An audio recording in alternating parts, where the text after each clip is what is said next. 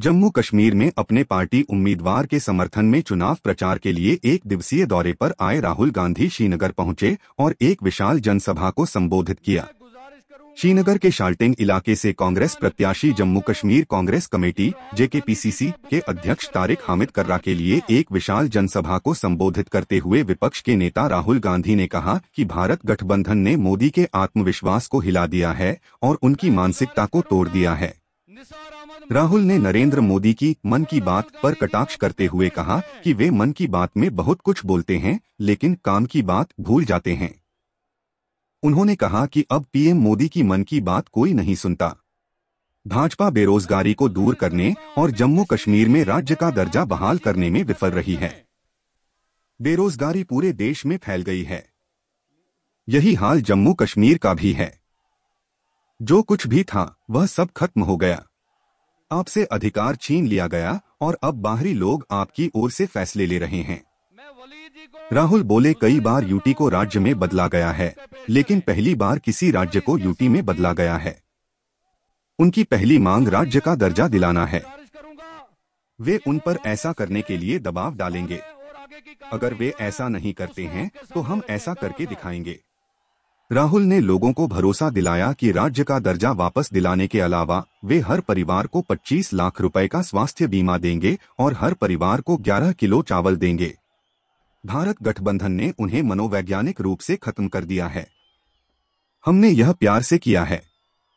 PM छप्पन inch के सीने से बात करते थे और अब उन्हें वही करना पड़ रहा है जो विपक्ष चाहता है। उन्होंने कहा, मैं उन्हें लोकसभा में बहुत करीब से देखता हूँ जबकि लोग उन्हें टीवी पर देखते हैं। उनकी बॉडी लैंग्वेज पूरी तरह बदल गई है और यह भारत गठबंधन मुमकिन हुआ है।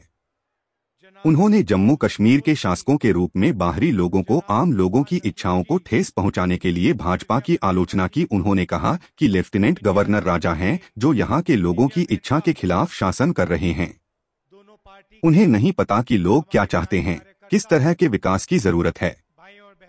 उन्होंने लोगों से आग्रह किया कि जहाँ भी एनसी उम्मीदवार हैं मैं चाहता हूँ कि हर कांग्रेस कार्यकर्ता उन्हें वोट दे और जहाँ भी कांग्रेस उम्मीदवार हैं एनसी कार्यकर्ता उन्हें वोट दें।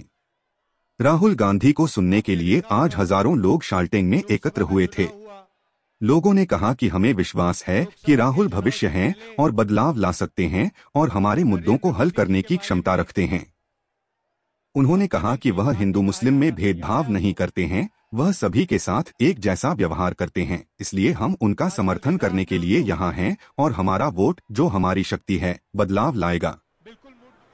पिछले दस साल से जहाँ भी नरेंद्र मोदी जी जाते हैं, जहाँ भी बीजेपी के लोग जाते हैं, वो नफरत फैलाते हैं। भाई को भाई से लड़ाते हैं एक धर्म को दूसरे धर्म से लड़ाएँगे, एक भाषा को दूसरी भाषा से लड़ाएँगे, एक स्टेट के लोगों को दूसरे स्टेट से लड़ाएँगे।